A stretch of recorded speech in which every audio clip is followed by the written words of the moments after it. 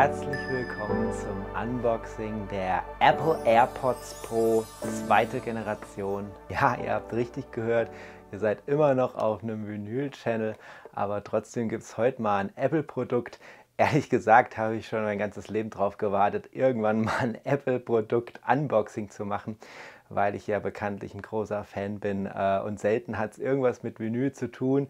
Naja, und jetzt bin ich ja hier auf dem Vinyl und Channel und habe mir doch überlegt, mit dem Titel kann ich hinter das und eigentlich setzen, was immer ich lustig bin. Und diese Freiheit, die genieße ich heute mal. Naja, eigentlich gibt es ja tatsächlich einen Vinylbezug äh, hier zu den AirPods Pro, denn äh, es ist letztendlich so, äh, ich bekomme in der Vinyl-Community wahnsinnig viele Tipps äh, für Schallplatten, in die man doch mal reinhören sollte. Gestaltet da meine diversen Playlists, äh, habe ich auch schon öfter in den Clubhouse Talks erzählt. Ja, meine Kopfhörer-Genuss-Playlist zum Beispiel, äh, in der ich dann wirklich mit guten Kopfhörern Musik höre. Aber ich habe auch Genre-Playlists, wo ich verschiedenste Musik durchhöre und nicht immer schaffe ich das abends gemütlich auf der Couch mit bester Qualität, sondern manchmal lohnt es sich halt einfach auch von unterwegs Musik hören zu können. Und da gibt es aus meiner Sicht nichts Besseres als das hier und ich möchte euch im Video auch nochmal erklären, äh, wieso ich persönlich das so sehe. Ähm, ich hatte schon die AirPods Pro der ersten Generation und war vom ersten Tag an begeistert von diesem Produkt und habe sie immer getragen, eigentlich täglich. Ja. Ähm, jetzt ist es aber so, sie sind leider äh, kaputt gegangen, zweimal sogar. Ich habe sie zweimal reparieren lassen wegen irgendeinem nervigen Rappeln äh, und Klingeln. Ähm, naja, und jetzt, wo sie zum dritten Mal kaputt sind, habe ich einfach keine Lust mehr gehabt, äh, jetzt wieder reparieren zu lassen, diesmal Geld zu bezahlen und habe mich einfach darauf gefreut, dass es jetzt demnächst eine Revision gibt und heute ist endlich das Produkt gekommen. Ich habe es natürlich, äh, wie meistens bei Apple-Produkten, direkt nach der äh, Bekanntgabe oder bei, nach der Erscheinung im Store äh, geklickt. Ähm, also kaum war das Produkt äh, sichtbar, habe ich es mir geholt und deswegen bin ich jetzt auch äh, früh drangekommen und freue mich, äh, euch das Produkt heute vorstellen zu können, auspacken zu können.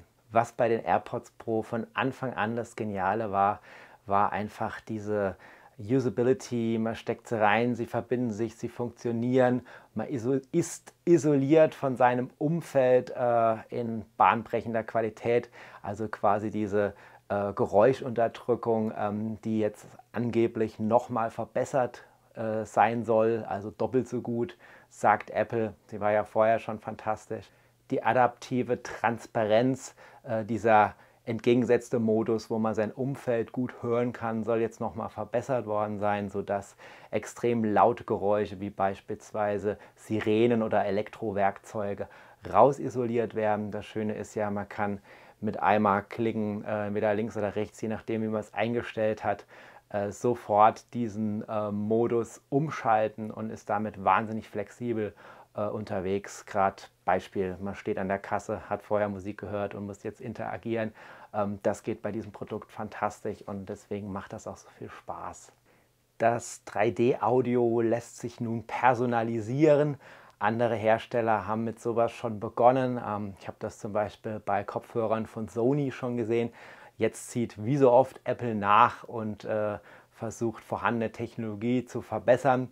Das Ganze äh, funktioniert mit der TrueDepth-Kamera vom iPhone. Äh, man erstellt quasi eine Fotografie vom Ohr und individuell wird das Ganze angepasst. Außerdem sorgt der adaptive Equalizer dafür, dass die Musik sozusagen an die Ohren angepasst wird.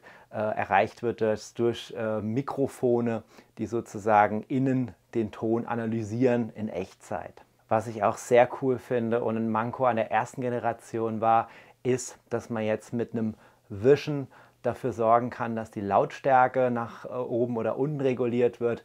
Ähm, das war vorher eher beschwerlich bei den AirPods Pro. Äh, ich hatte mich dann inzwischen daran gewöhnt, immer äh, mit der Apple Watch die Lautstärke zu regulieren und nicht direkt an den Kopfhörern über Siri, was ja bis dahin im Prinzip die einzige vernünftige Möglichkeit war. Die vorher bereits vorhandenen Funktionen äh, bleiben uns erhalten. Man kann also im Einstellungsmenü äh, nach wie vor äh, justieren, ob man gerne äh, die linke oder die rechte Seite für welche Funktion noch immer verwenden möchte. Äh, bei mir war das in der Regel so eingestellt, dass ich äh, auf einer Seite die Wiedergabe stoppen konnte, fortsetzen konnte, ähm, dass ich aber auch gleichzeitig auf der anderen Seite die Geräuschunterdrückung von äh, dem Modus Geräuschunterdrückung auf Transparenz umschalten konnte. Außerdem lassen sich mit dieser Funktion natürlich auch Anrufe annehmen. Auch so kannte man das schon von der ersten Generation. Um den vollen Funktionsumfang der AirPods Pro nutzen zu können, ist es erforderlich, auf die neueste Version des Betriebssystems zu wechseln.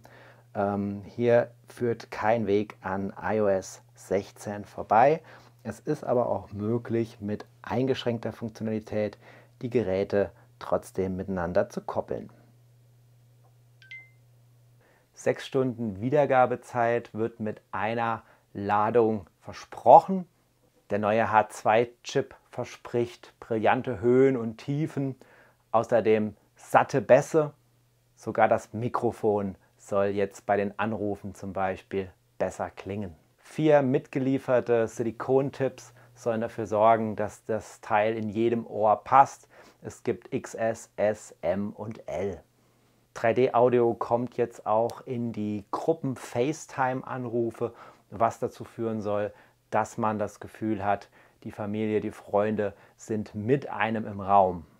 Mit dem Case zusammengerechnet kommt man auf insgesamt 30 Stunden Laufzeit und das ist doch schon ganz beachtlich.